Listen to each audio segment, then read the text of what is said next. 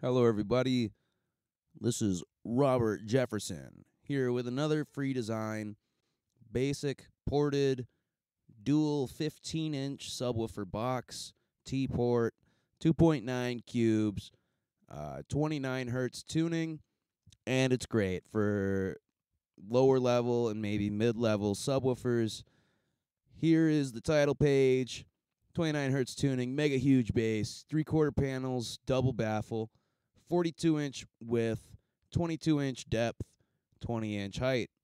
And then here's the cut sheet, basically. This is all the parts that you should have to make. This is everything. It's all of it. And uh, here's the helper page. This helper page is uh, pretty simple. It just gives you some dimensions to look at while you're putting it together. But this is a pretty simple box, so it's not really much going on here. Anyway, uh, free CAD files available in the link. That's the CAD files. You can open it up just like I have it right now in free CAD. Download it for free. Linux, Windows, Mac, I think. Whatever you got. I think it works on it. So that's that. And then uh, I got to open up Horn Resp again. All right. And I include the Horn Resp file. I only simulate one half of the box. Uh, not both halves at once. It's not going to make a difference, I promise. Or it will. I don't know. Probably not, though. Probably nothing that anybody would ever notice. All right, so where are we at? Dual 15 ported.txt. That file's included. This is simulating with uh, the DS18 Gen XX15 dual 4 ohm subwoofer. And there it is. I, I simulated it as a backloaded horn. It works.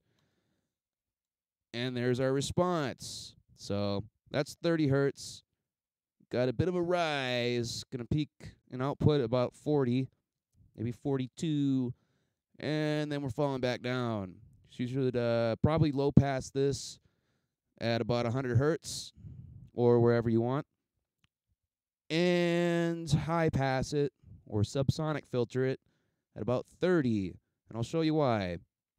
So this is what happens at 30 or 29 hertz, which is the tuning. You basically have no excursion or the least excursion.